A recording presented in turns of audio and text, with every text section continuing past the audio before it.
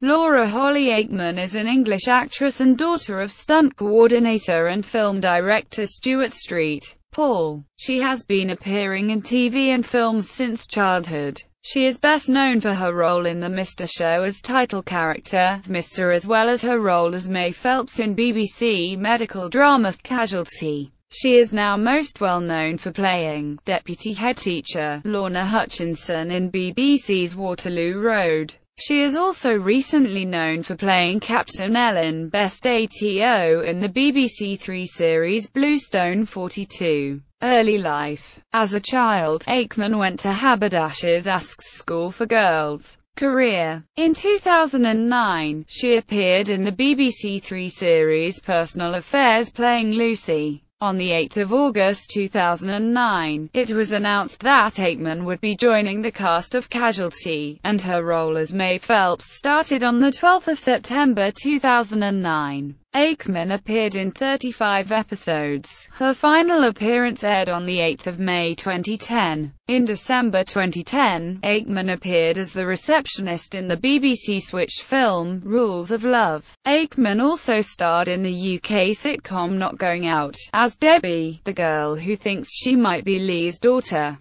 She has also had a two-year role in the CBBC show 4 O'Clock Club as Melanie Poppy, a music teacher. In 2012, Aikman starred alongside Leigh Francis's alter ego Keith Lemon in his TV show Lemon La Vida Loca during the first series. She played the role of his Yorkshire girlfriend, Rosie. Aikman announced that she would not be returning to the show for the second series despite making an appearance in episode 1. She joined the cast for the second series of ITV sitcom The Job Lot which aired in 2014. On 16 March 2015 she made her first appearance as Captain Ellen Best in Bluestone 42. Filmography Theatre appearances Princess Catherine in Henry V.